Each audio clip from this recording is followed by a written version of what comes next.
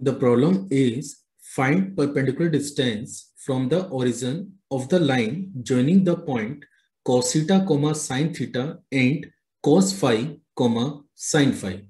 So let's see how we will solve this problem. तो सबसे पहले आपको क्वेश्चन समझना चाहिए कि क्वेश्चन क्या है आपको एक लाइन दे रखी है और लाइन जो है दो पॉइंट से पास कर रही है इसमें एक पॉइंट है cos theta comma sin theta और दूसरा पॉइंट है cos five comma sin five fine अब एक और पॉइंट आपको दे रखा है which is actually the origin और आपको ये बोला गया है कि ओरिजन से मैंने गिवन लाइन पे एक परपेंडिकुलर प्लॉट किया है, और आपको ये length of the perpendicular calculate करना है। तो अगर मैं यहाँ पे फिट के कोऑर्डिनेट को या फिट की लोकेशन को एम से रिप्रेजेंट कर दूँ तो we have to calculate the length of P M and that is the part of the question तो चलिए शुरू करते हैं। देखिए, अगर आपको पीएम की लेंथ फाइंड आउट करनी है, अगर आपको पीएम की लेंथ फाइंड आउट करनी है तो आपका पहला टारगेट ये होना चाहिए कि हम लोग एल लाइन का इक्वेशन पता करें। What is the equation of a line L तो इसके लिए मैं slope point form of the line use करने जा रहा हूँ और स्लो पॉइंट फॉर्म की अगर अपन बात करें तो इसका फॉर्मेट होता है Y minus Y one is equal to M times of X minus X one के ठीक है? तो मैं उम्मीद कर रहा हूँ कि अगर आप कोऑर्डिनेट ज्योमेट्री पढ़ रहे हैं तो ये फॉर्मेट तो आपको याद ही होगा कि अगर आपके पास किसी लाइन का स्लोप पता है और आपको ये पता है कि वो लाइन किस पर्टिकुलर पॉइंट से पास कर रही है तो आप गिवन लाइन की इक्वेशन निकाल सकते हैं। तो चलिए बात करते हैं कि एम हम लोग कैसे पता करेंगे which is the slope of the given line it is actually equal to Y two minus Y one over X two minus X one के मैं आपको एक बार रिकॉल कर देता हूँ कंसेप्ट को कि सपोज़ अगर मेरे पास ये एक लाइन है और ये दो पॉइंट से पास करी है पहला पॉइंट है x1 one comma Y one and suppose the second point is x2 comma Y two और अगर आपको गिवन लाइन का स्लोप चाहिए तो आपको क्या करना होगा? We have to calculate Y two minus Y one over X two minus X one के which is actually the slope of the given line so finally अगर मैं m की बात करूँ तो m हमारे पास होगा sine five sine five minus sine theta divided by cos five minus cos of theta के। तो मैं एक्सपेक्ट कर रहा हूँ कि शायद आपको ये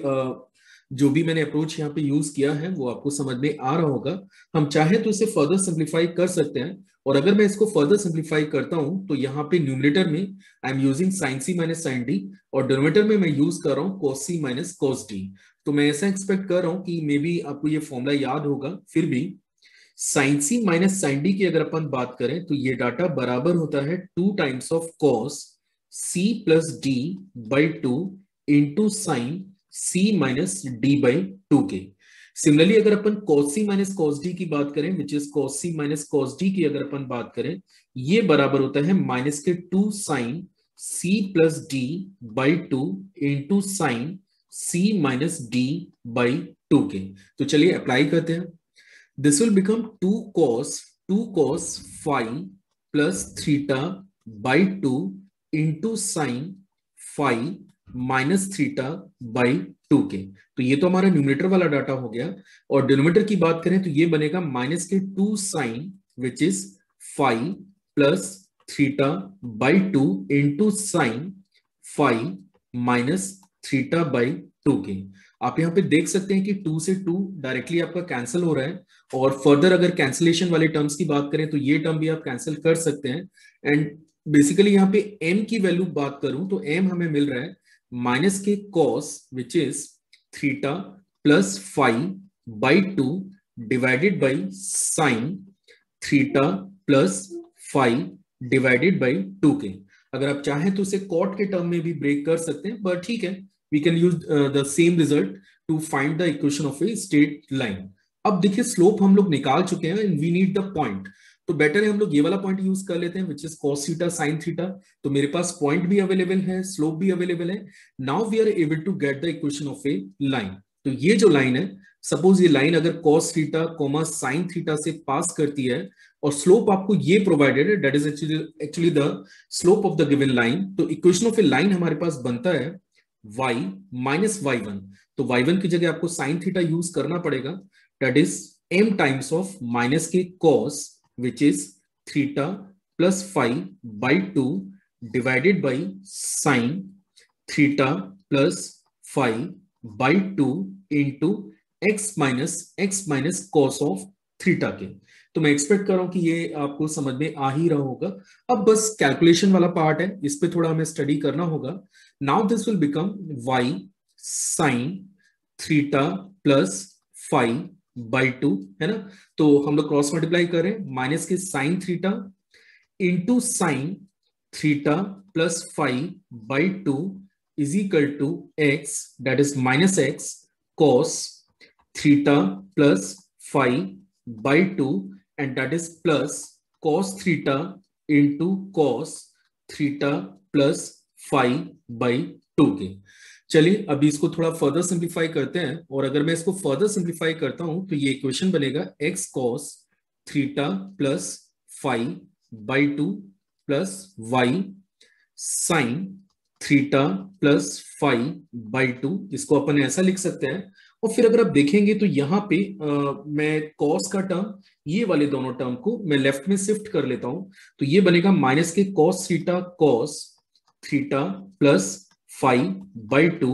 and that is minus sine theta into sine theta plus five by two and that is equal to zero तो ठीक है, हमने इक्वेशन को थोड़ा सा कंफर्टेबल फॉर्म में कन्वर्ट हमने कर लिया है। Now we can write it X cos which is थ्रीटा plus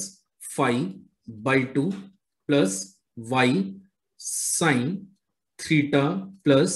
five by two minus हमने यहाँ पे कॉमन ले लिया है और इसको हम लोग लिख सकते हैं cos a cos b plus sine a sine b actually that is a formula of cos a minus b और जैसे मैं ये फॉर्मूला अप्लाई करूँगा तो ये बन जाता है cos theta minus five by two के and that is equal to zero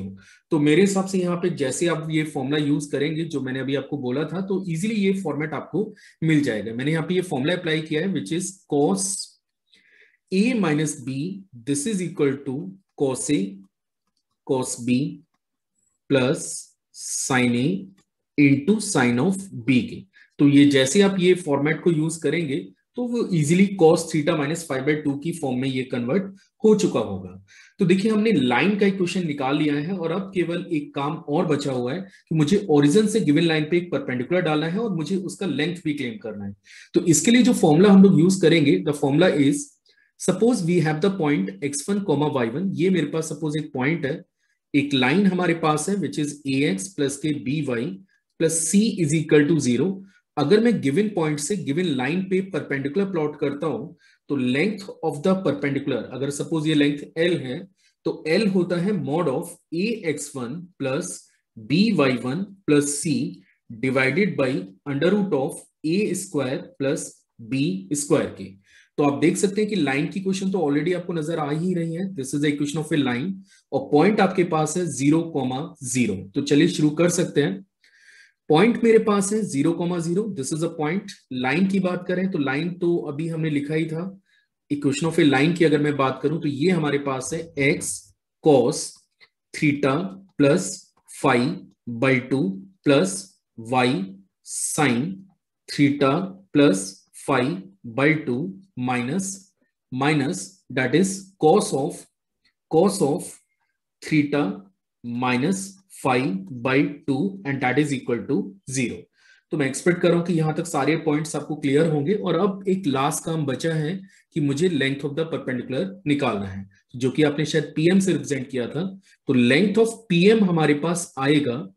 इस लेंथ की अगर मैं बात करूँ तो ज़ीरो से परपेंडिकुलर डालना है। तो ये बनेगा zero plus zero minus cos of थ्रीटा minus five by two and bracket of sorry that is a mod divided by under root of a square. तो ए कितना है? ये टर्म है। तो ये बनेगा cos square theta plus five by two एक ये टर्म हमारे पास आ गया। Plus k sine square theta plus five by two के। अब अगर इस डाटा को फर्दर हम लोग सिंप्लीफाई करें तो आप देख सकते हैं कि न्यूमिनेटर में जो टर्म आपको नज़र आ रहा है which is simply cos of theta minus five by two के है ना? और डोमीटर में आपको मिला है वन अब वैसे तो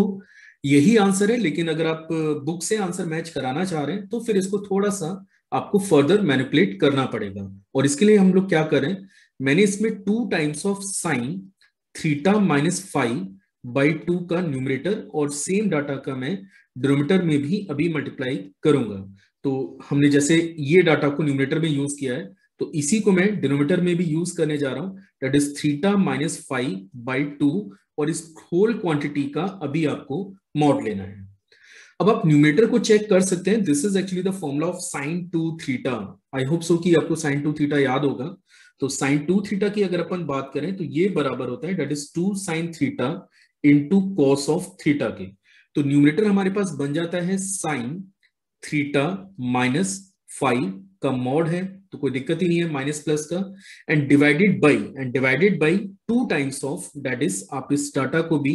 मॉड के अंदर ही यूज़ कर सकते हैं that is two times of sine theta minus phi by 2. And finally, this is the length of the perpendicular from the origin to the given line.